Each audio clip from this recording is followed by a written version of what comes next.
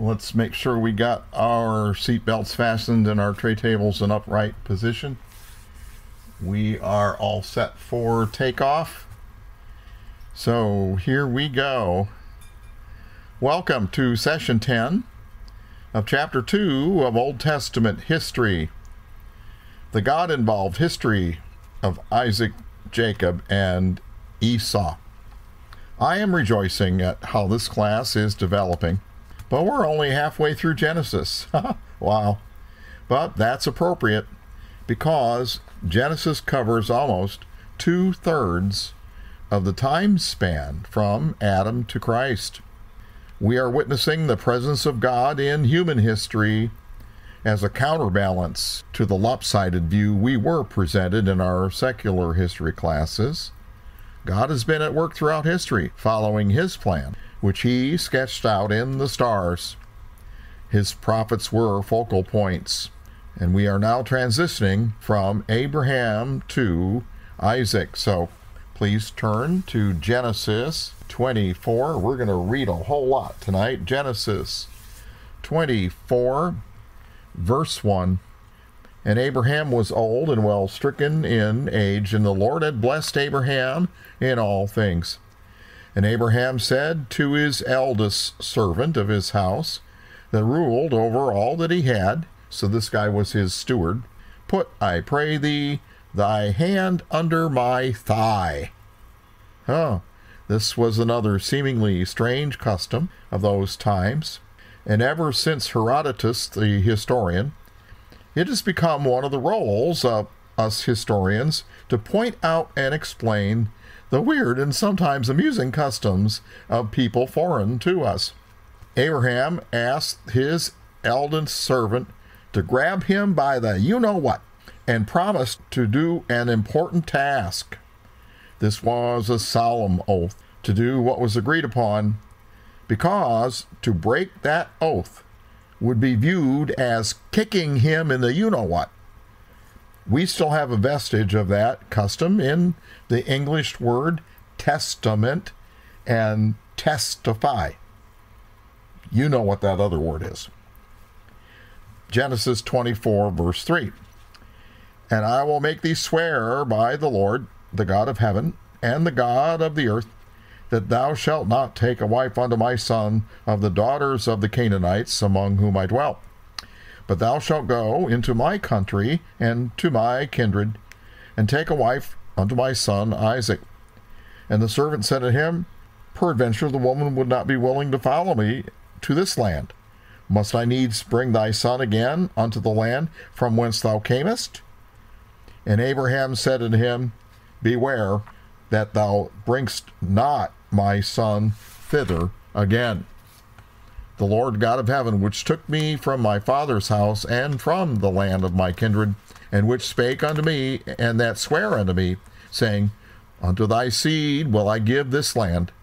He shall send his angel before thee, and thou shalt take a wife unto my son from thence. And if the woman will not be willing to follow thee, then thou shalt be clear from this my oath only bring not my son thither again. And the servant put his hand under the thigh of Abraham his master, and swore unto him concerning that matter. So, this was going to be an arranged marriage. That was the custom of that time and culture. Today, we marry the person we fall in love with. They were taught to fall in love with the person they married. Today, we base much of our spousal choice upon emotions. Their basis was totally rational. The parents knew their kids. They saw them grow up. They knew their strengths and weaknesses. They also had lived life and hopefully had gained wisdom and common sense. So the parents in that culture would get together and match up their kids. Often families would make alliances and intermarry several of their children. Not only were the personalities, strengths, and weaknesses of the children evaluated and matched, but also the reputations of the families, what they stood for. Therefore, Abraham sent his trusted servant to find a wife for Isaac. The servant had been part of the household for the longest period and knew what Abraham stood for and had seen Isaac grow up, knew him too. But Abraham was also believing God to assist in this very important selection. How could Abraham find the very best wife for his son? It was like finding a needle in a haystack. It was like panning for gold. But we shall see that God's unmistakable choice was the easiest decision in the history of decisions for everyone involved. Genesis 24:10. And the servant took ten camels of the camels of his master, so was a caravan, and departed, for all the goods of his master were in his hand. So he was the steward of the house. And he arose and went to Mesopotamia unto the city of Nahor. And he made his camels to kneel down outside the city by a well of water at the time of the evening, even the time that women go out to draw water. And he said, O Lord God of my master Abraham, I pray thee, send me good speed this day, and show kindness unto my master Abraham. See, here was the task at hand. Number one, he had to find an eligible woman for marriage in an unknown city. Number two, he had to vet her. All that involves. Number three, he had to get an audience with her father. Number four, he had to convince the father that the servant of Abraham was legit. Number five, he had to obtain permission to marry their daughter to an unknown man. Number six, he had to pay a dowry. Number seven, he had to bring her home. Oh, that's easy peasy, isn't it? no. Ah. oh, by the way, this was in a culture in which it was not permissible to converse with a woman except for extremely limited reasons. They could ask, May I have a drink of water? They could ask, Where does the man of God live? Otherwise, almost everything else was viewed as indecorous behavior. Genesis 24:13. Here he is praying, Behold, I stand here by the well of water, and the daughters of the men of the city come out to draw water. And let it come to pass that the damsel to whom I shall say, Let down thy pitcher, I pray thee, that I may drink. And she shall say, Drink, for I will give thy camels drink also. Let the same be she that thou hast appointed for thy servant Isaac, and thereby shall I know that thou hast showed kindness unto my master. Verse 15 And it came to pass, before he had even done speaking, that behold, Rebekah came out, who was born to Bethuel, the son of Milcah, the wife of Nahor, Abraham's brother. Her pitcher was upon her shoulder and the damsel was very fair to look upon. A virgin neither had any man known her, and she went down to the well, filled her pitcher, and came up. And a servant ran to meet her and said, Let me, I pray thee, drink a little water of thy pitcher. And she said, Drink, my lord. And she hasted and let down the pitcher upon her hand and gave him to drink. And when she was done giving him drink, she said, I will draw water for thy camels also until they have done drinking. And she hasted and emptied her pitcher into the trough and ran again unto the well to draw the water and drew for all of his camels. And the man, wondering at her, held his peace to know whether the Lord had made his journey prosperous or not. And it came to pass, as the camels had done drinking, that that man took a golden nose ring of half a shekel weight and two bracelets for her hands of 10 shekels weight of gold. That's over four ounces of gold, which is around $7,000 by today's price. And said, Whose daughter are you? Tell me, I pray thee. Is there room in your father's house for us to lodge? And she said, I am the daughter of Bethuel, the son of Milcah, which she bore to Nahor. She said, Moreover, unto him, We have both straw and provender enough and room to lodge in. And the man bowed down his head and worshiped the Lord. Bingo. And he said, Blessed be the Lord God of my master Abraham, who hath not left destitute my master of his mercy and his truth, I being in the in the way, and the Lord led me to the house of my master's brethren. This was the easiest decision in the history of decisions. This is how things are supposed to work out, right? When we walk for God, many of us have experienced similar things. Now, I think that it is obvious from the circumstances that she was God's choice. The serendipity of the situation was unmistakable. But Rebecca was Isaac's first cousin. Today, in most countries, marriage of first cousins is illegal, but it was common in ancient times, especially in the Middle East. They thought it was a way to keep their family and the family wealth intact. In fact, in some Middle Eastern countries today, the male first cousin has dibs on the female first cousins, and if they marry someone else, it's only with his permission. Wow. You know that over 40% of married couples in the Arab world are also related to each other. I didn't know that until I researched it. I, I wonder what Google advertisements I'm going to be besieged with after, after looking that up. Huh? Whoop, whoop. Joke filler engagement in progress. Joke filler engagement in progress. I, I can't say anymore. Uh, uh, Genesis 24 28. And the damsel ran and told them her father and father's house of these things. And Rebekah had a brother, and his name was Laban. And Laban ran out unto the man under the well. And it came to pass when he saw the nose ring and the bracelets upon his sister's hands. And when he heard the words of Rebekah his sister, saying, Thus spake the man unto me, he came unto the man, and behold, he stood by the camels at the well. And he said, Come in, thou blessed of the Lord. What are you standing there outside for? I've prepared the house and the room for the camels. And the man came into the house and ungirded his camels and gave straw and provender for the camels and water to wash his feet, and the men's feet that were with him. And there was set meat before them to eat. But he said, I will not eat until I have told my errand. And he said, Speak on. So the servant told them why he came and described how God answered his prayer. We get down to Genesis 24 49. And he says, Now, if you will deal kindly and truly with my master, tell me, and if not, tell me, that I may turn to the right hand or to the left.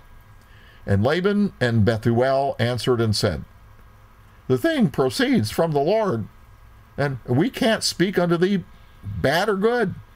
it was that obvious. Behold, Rebekah is before thee. Take her and go. Let her be your master's son's wife as the Lord has spoken. Boom! They made their decision that quick. Wow.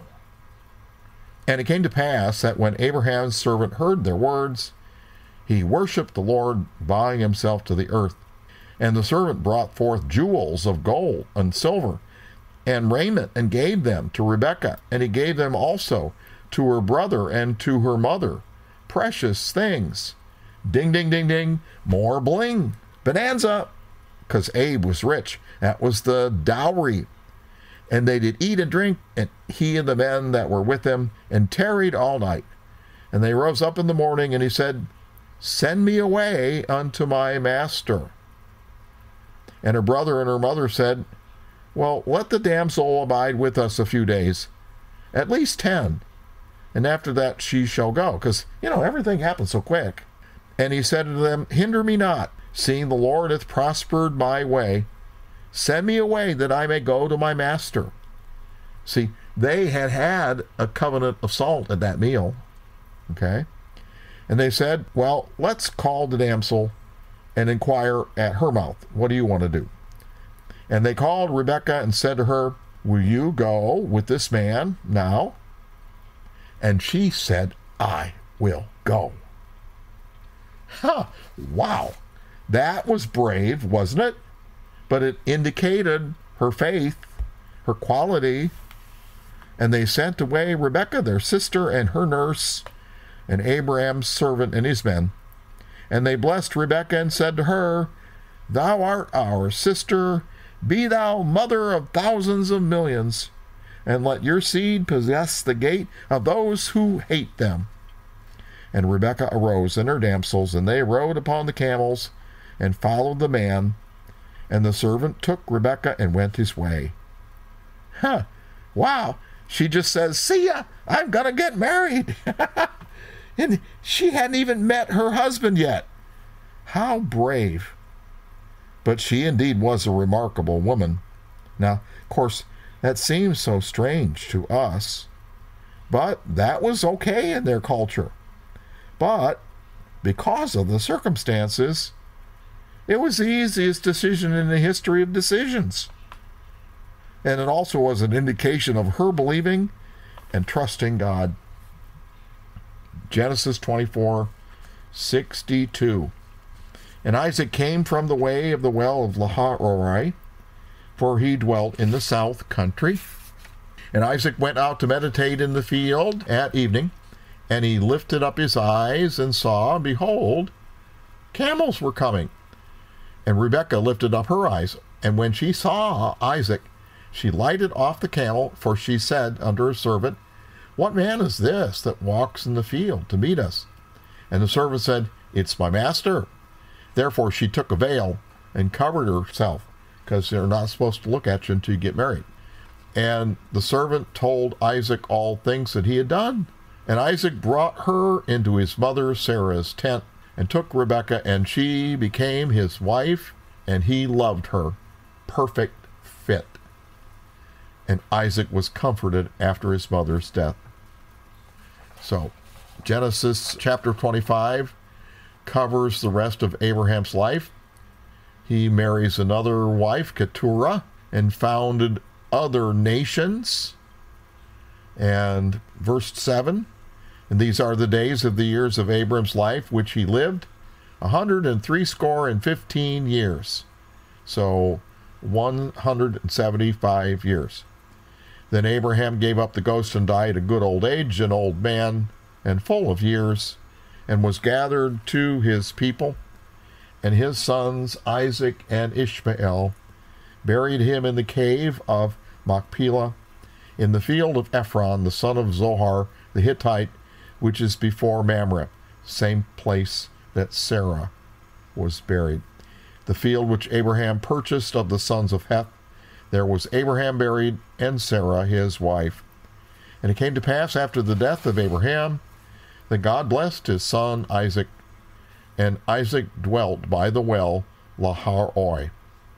Now, we know where this cave is in Hebron at Machpelah. And it has been a holy site for hundreds of years to all the religions who honor Abraham.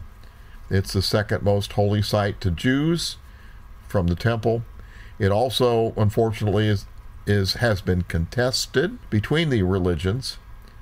It originally was a Jewish pilgrim site. Then Herod commemorated it with a building, and then the Christians shared it with the Jews.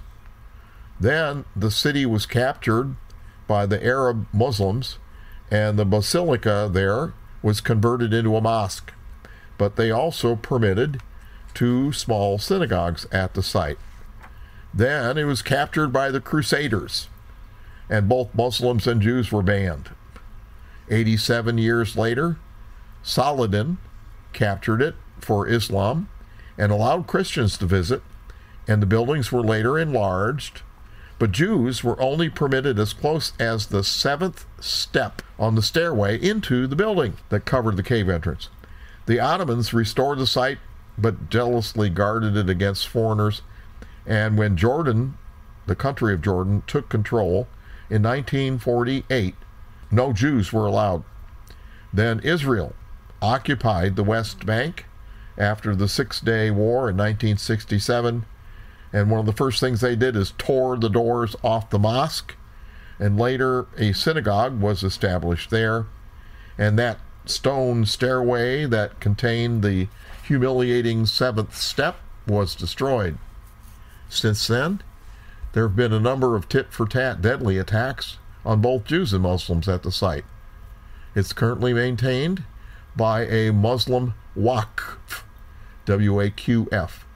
That's a perennial charitable trust which controls most of the building. It's supposed to be, in effect, forever unalterable. So, a lot of things, though, have happened in that area that have violated these kinds of Waqf trusts that are supposed to be forever unalterable. And the Jews have come in and changed it. And that's one of the reasons why things are at a fever pitch over there because the Islamic people believe that it's supposed to be forever, unalterable. So you can see the depth of their feelings regarding some of these things. But that trust controls most of the building. It's now open to tourists. However, during the, the week that I was in Israel in 2001, we weren't permitted to go there into the Palestinian Authority area. The Jews are permitted in some areas of the building now, but other areas only on 10 Jewish high days of the year. And the site is currently patrolled by Israeli Defense Forces. I'm uh, going to provide a PDF on the modern findings that were in the caves underneath the building. Now we're going to return to Genesis 25 and verse 12. Genesis 25 and verse 12 through 18 are the generations of Ishmael, Abraham's son, whom Hagar the Egyptian, Sarah's handmaid, bare unto him. They talk about his 12 sons, who were the founders of the tribes of the Arabs, another nation founded by Abraham. Now we get to verse 19. And these are the generations of Isaac, Abraham's son. Abraham begat Isaac, and Isaac was 40 years old when he took Rebekah to wife, the daughter of Bethuel the Syrian of Padan Aram, and the sister to Laban the Syrian. And Isaac entreated the Lord for his wife because she was barren, and the Lord was entreated of him, and Rebekah his wife conceived, and children struggled together within her. And she said, If it be so, why am I thus? And she went to inquire of the Lord, and the Lord said to her, Two nations are in your womb. Ouch. and, and two manner of people shall be separated from thy bowels, and the one people shall be stronger than the other, and the elder shall serve the younger. And when her days to be delivered were fulfilled, behold, there were twins in her womb. And the first came out red, all over like a hairy garment. And they called his name Esau. That means hairy.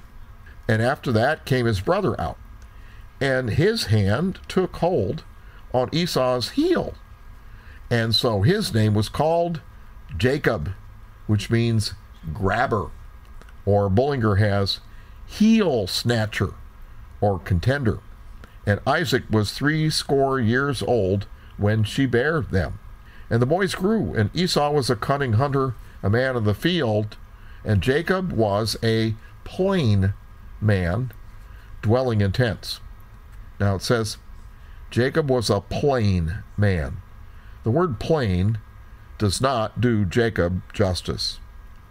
It is the Hebrew word tom, T O M, which means morally sound, having integrity, wholesome.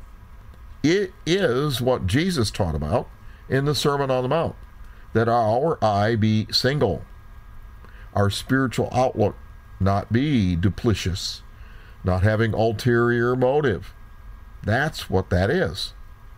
On the other hand, Esau was a man of the field, a man of the world. I think Jacob has been misrepresented because of his name. Because here God says he had integrity. But people throughout history think he was living up to his name, especially by this next incident of bargaining for the birthright. But you know what? All he was doing was acting on the prophecy about him that his mother had certainly told him about. The elder would serve the younger. Genesis 25 28. Isaac loved Esau because he did eat of his venison, wild meat. But Rebekah loved Jacob. And Jacob boiled or cooked stew. And Esau came from the field, and he was faint. And Esau said to Jacob, Feed me, I pray thee, with some of that red stew. Now, the REV Bible has a more vivid translation.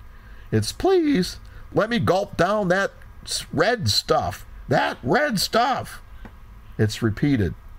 Therefore, his name is called Red, Edom. And Jacob said, First, sell me this day your birthright. And Esau said, Ah, behold, I'm at the point to die. What doth that profit me, that birthright to me?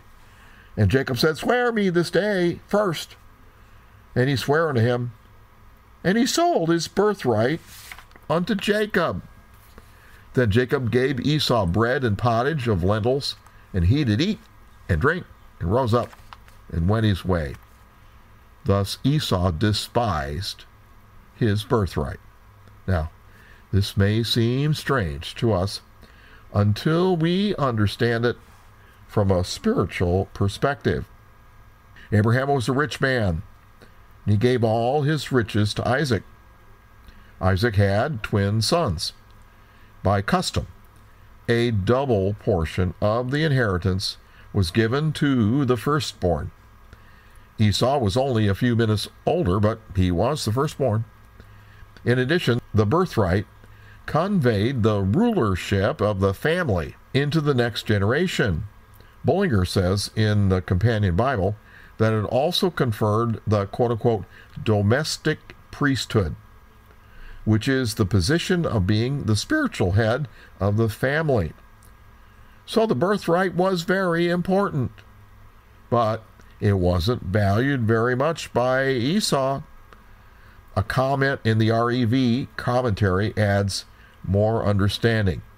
They say Esau came home very hungry and was insistent to get some of Jacob's stew as quickly as possible.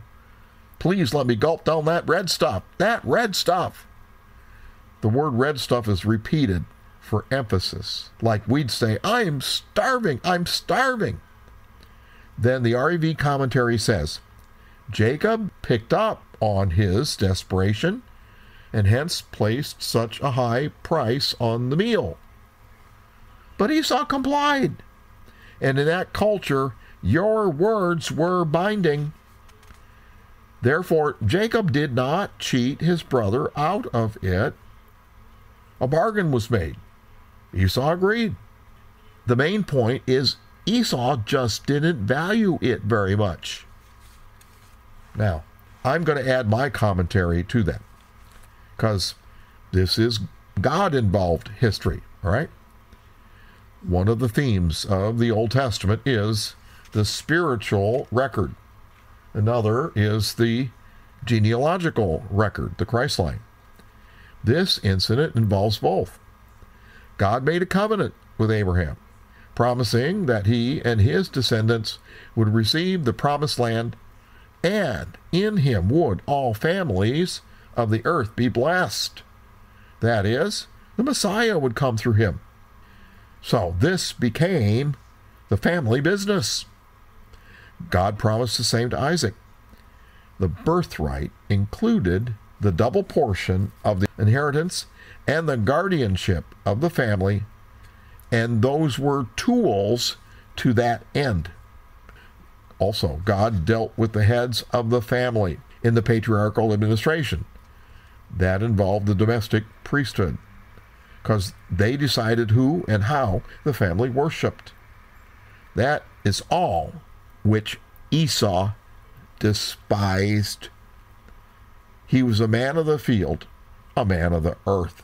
But Jacob was a plain, actually a pure hearted man. Both he and his mother knew that he would carry on the family business far better than Esau. That is why God declared in Malachi chapter 1, verse 2 and 3, and in Romans, Jacob have I loved, but Esau I hated. Why? Because he despised the family business. Genesis 26, verse 1. There was a famine in the land beside the first famine that was in the days of Abraham. And Isaac went to uh, Abimelech, king of the Philistines, into Gerar. The rest of the chapter deals with Isaac and the king of Gerar. We Get down to verse 34. Genesis 26, 34. And Esau was 40 years old when he took to wife Judith, the daughter of Beeri the Hittite, and Bashemath, the daughter of Elon the Hittite, which were a grief of mind unto Isaac and to Rebekah. Well, because that marriage didn't bode well for the family business. The Hittites worship false gods. Now we come to Genesis 27. That records the blessing that Isaac gave his sons before he died. I think most commentators give Jacob a bad rap, calling him a cheater. But one must realize Esau had sold him his birthright that included this blessing. Those words, that oral agreement, was binding. But Esau was backing out on it when he sought his father's blessing. Furthermore, Jacob did not concoct that plan, his mother did. Isaac was elderly and not spiritually sharp. He was blind, too. And Rebekah knew who should carry on the family business best. So it came to pass, Genesis 27, verse 1 came to pass when Isaac was old and his eyes were dim, so that he could not see.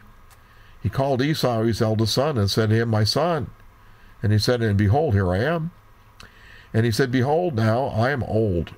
I know not the day of my death. Now therefore I take, I pray thee, thy weapons, thy quiver, and thy bow.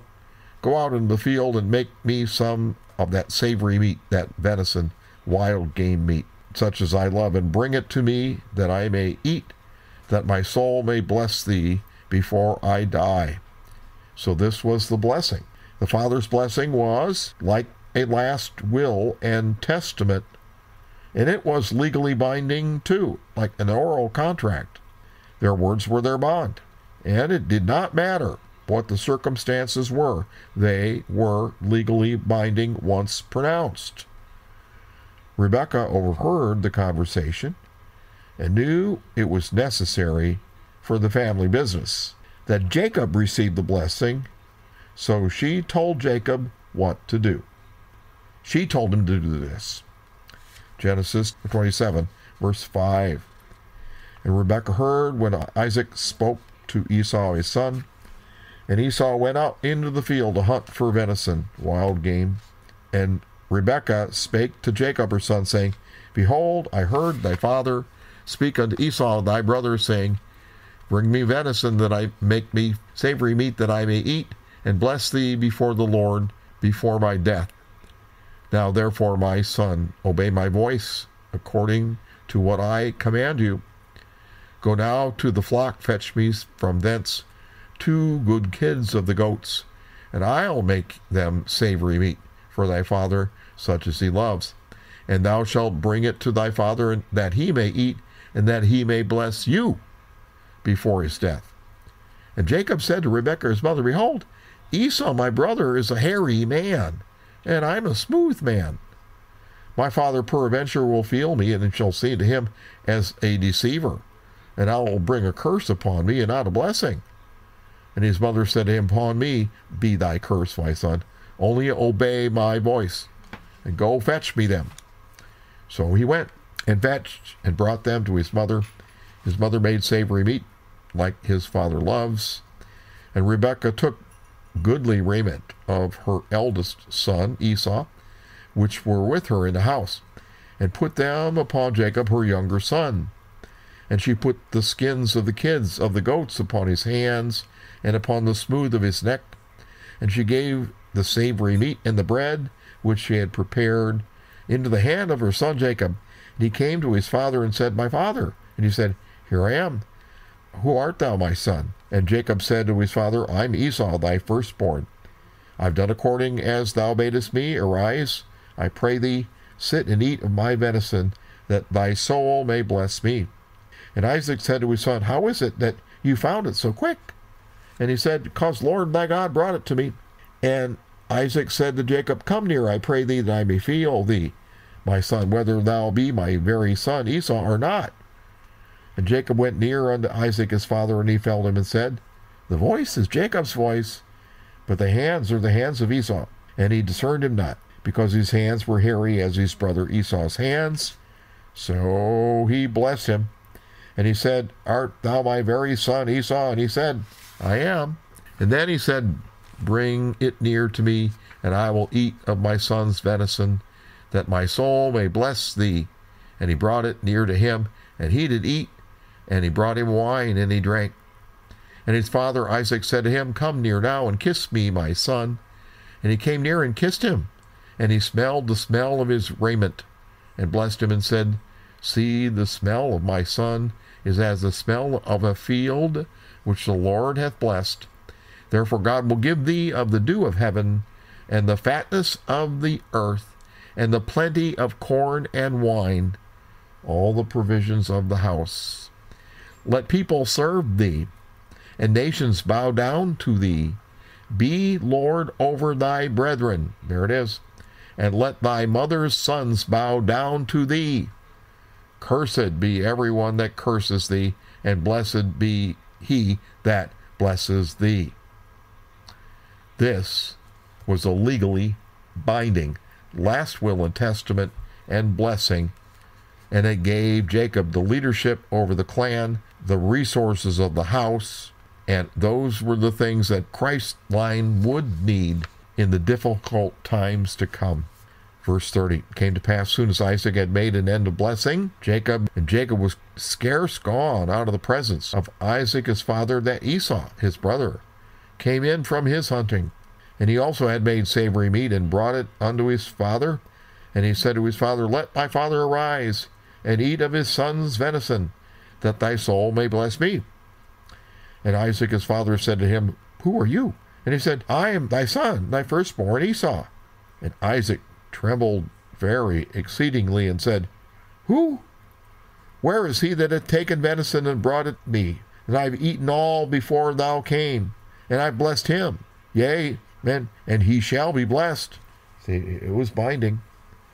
And when Esau heard the words of his father, he cried with a great, exceeding, bitter cry, and he said, Bless me, father, bless me, O my father. And he said, Thy brother came in with subtlety, and had taken away your blessing. And Esau said, Is he not rightly named Jacob? For he has supplanted me these two times. He took my birthright, well, was that true? No.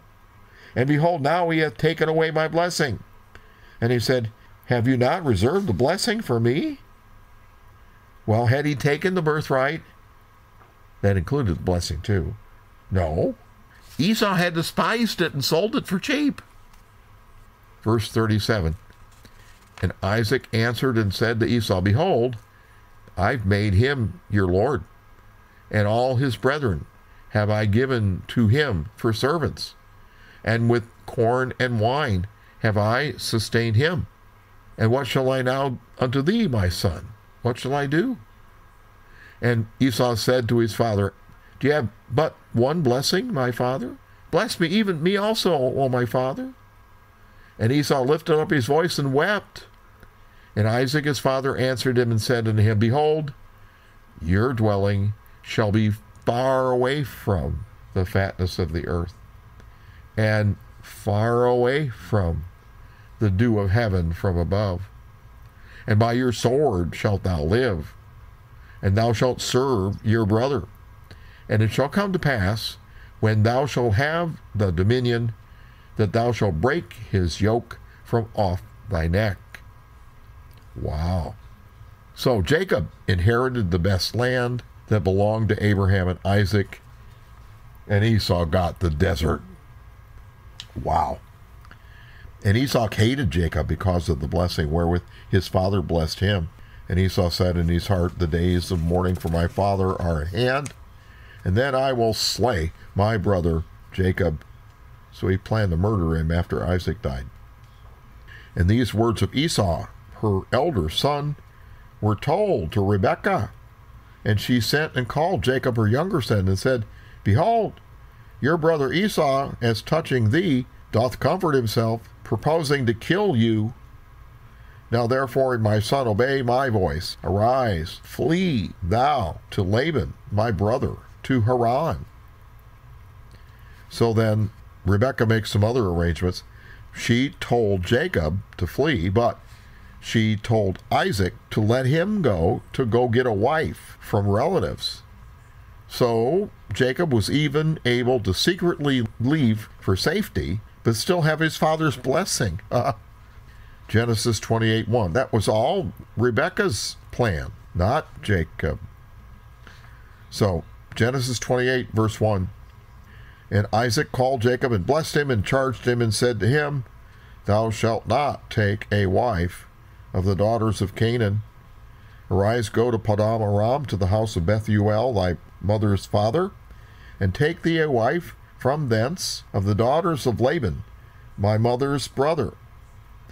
And God Almighty bless thee and make thee fruitful and multiply thee, that thou mayest be a multitude of people, and give thee the blessing of Abraham to thee and to thy seed with thee, that thou mayest inherit the land wherein thou art a stranger, which God gave unto Abraham. See, that was all the consequence of the blessing earlier. And Isaac sent away Jacob, and he went to Padan Aram unto Laban, son of Bethuel the Syrian, the brother of Rebekah, Jacob and Esau's mother. And when Esau saw that Isaac had blessed Jacob and sent him away to Padan Aram to take him a wife from thence, and that he blessed him, and he gave him charge, saying, Thou shalt not take a wife of the daughters of Canaan, and that Jacob obeyed his father and his mother and was gone to Padan Aram. And Esau, seeing that the daughters of Canaan pleased not Isaac his father, then went Esau to Ishmael, and took unto the wives which he had Mahalath, the daughter of Ishmael, Abraham's son, the sister of Nebajoth, to be his wife. So Esau now got another wife from a better source in an effort to please Isaac. But he went to the other side of the family and got a daughter of Ishmael, another cousin. Genesis 28, verse 10. And Jacob went out from Beersheba and went toward Haran. And he lit upon a certain place, and tarried there all night, because the sun was set. And he took of the stones of that place, and put them for his pillows, to lay down in that place to sleep. This is about 50 miles north of where they were when he started. And he dreamed, and behold, a ladder, and it's actually a stairway, set up upon the earth, and the top of it reached to heaven. And behold, the angels of God ascending and descending on it. And behold, the Lord stood above it and said, Here I am, the Lord God of Abraham thy father, the God of Isaac, in the land wherein thou liest, to thee will I give it, and to thy seed. And thy seed shall be as the dust of the earth, and thou shalt spread abroad to the west and to the east, to the north and to the south. And in thee and in thy seed shall all families of the earth be blessed. There it is. Abraham's promise, the covenant, reiterated. And behold, I am with thee, and I will keep thee in all places whither thou goest, and will bring thee again into this land, for I will not leave thee until I have done that which I have spoken to thee of. Huh, that's that's almost like the prophecies we heard at the beginning of the meeting, isn't it? Wow. Now let's think. If Jacob was this great conniver, manipulator, and sinner, as some say, would he have received this revelation? God repeated the covenant and the promise to him. Jacob saw that the land where he had slept was a place upon which angels ascended and descended. What does that mean? That it was a focal point of heavenly action, provision, and protection. It was the promised land. Angels came and went to and from it.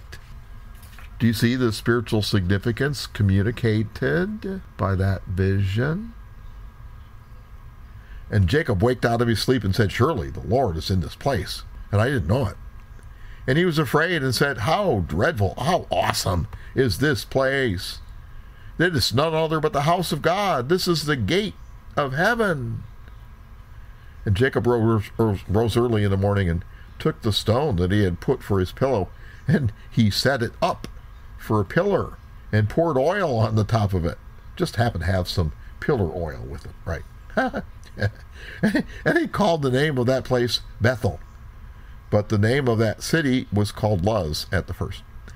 And Jacob vowed a vow, saying, If God be will be with me, and will keep me in this way that I go, and will give me bread to eat and raiment to put on, so that I come again to my father's house in peace, then shall the Lord be my God. And this stone which I've set for a pillar shall be God's house. And of all that thou shalt give me, I will surely give the tenth, yes, a tenth, unto thee.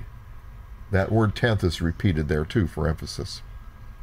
Thus, Jacob was now locked in solid to the family business.